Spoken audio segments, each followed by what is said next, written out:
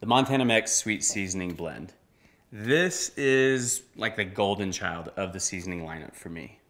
What it has, it has organic cane sugar, spices like cinnamon, ginger, allspice, ají amarillo chili, pasilla negra chili.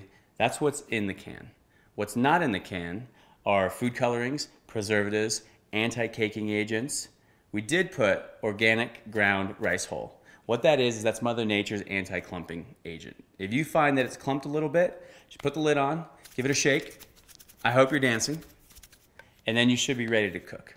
Here at Montana Mex, we say meats and treats with our sweet seasoning blend. What that means is we think this seasoning blend goes terrific on meats when you're looking to caramelize barbecue or grilled item or into your sweets. So start baking with it or throw it into your next dessert. When you want something that's a little bit sweet and has a beautiful spice bouquet, all that ginger, clove, allspice, ají amarillo chili, just a touch of sea salt.